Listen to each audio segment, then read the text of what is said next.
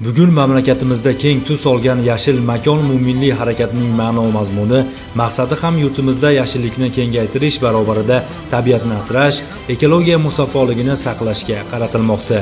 Davlatimiz rahbarining bevosita tashabbusi bilan hayotga tatbiq etilayotgan ushbu xayrli tadbirlarda barcha yurtdoshlarimiz qatori andijon viloyati ichki ishlar boshqarmasi xodimlari ham faol ishtirok etishmoqda.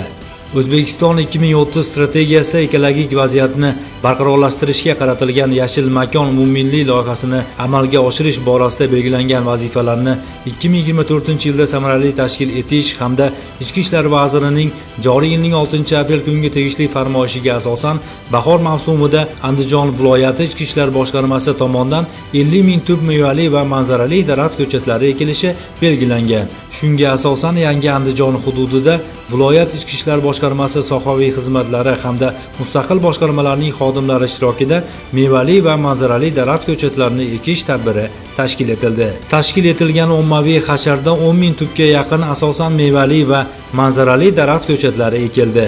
Tabiatda yashil hududlar kengaysa bundan faqat foyda ko'ramiz rohatlanamiz. Bashariyat kelajagi mustahkamlanadi. Bugun ekilgan nihollar vaqti kelib respublikamizdagi tabiiy iqlim sharoiti mo'tadilligini ta'minlaydi. Demak kim yashil makon umummilliy loyihasi kelajakka daxldor masaladir? Andijon viloyati ichki ishlar boshqarmasi tashabbusi bilan yashil makon umummilliy dasturi doirasidagi ona tabiatni musaffoligini asrab avaylashga qaratilgan amaliy harakatlar davom ettirilmoqda